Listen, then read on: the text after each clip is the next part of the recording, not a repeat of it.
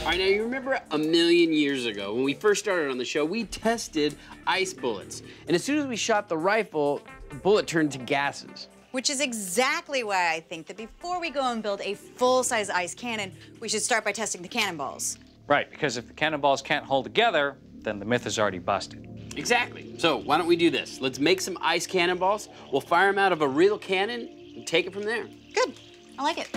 The team's previous failure firing frozen H2O ammo It just can't be done. You're going to end up with vaporized water. means the opening salvo in this Siberian siege story will be the weakest link. The projectiles themselves.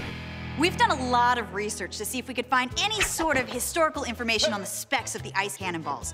Now, we've found that they may have been reinforced with fibers such as hemp, wood, and paper pulp. So while Tori and I work on these supplemented cannonballs, Grant's gonna work on the clear ice ones.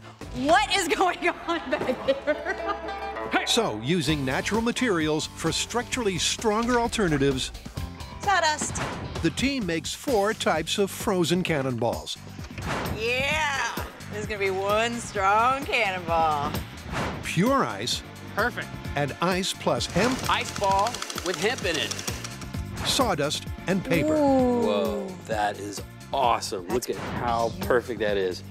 With their projectiles prepped, it's off to a suitably explosive location. All right, let's bring out the cannon. All right. We've come out to Angels Camp, where we have a long history of blowing up cement trucks, unleashing fireworks men into the world, and firing off a cannon. Whoa! That's what we're gonna do again. There she is. Harry Webb has brought out Old Moses so that we can test each recipe for our ice cannonballs and see which one can withstand the blast of a real cannon. We're going to be firing our cannonballs with increasingly larger amounts of black powder to see if they can withstand the pressure. We're starting with pure ice cannonballs and eight ounces of black powder, the minimum amount we can use in the cannon. Don't worry, comrade. They are only shooting ice. How bad could that hurt? We'll use it to chill our vodka.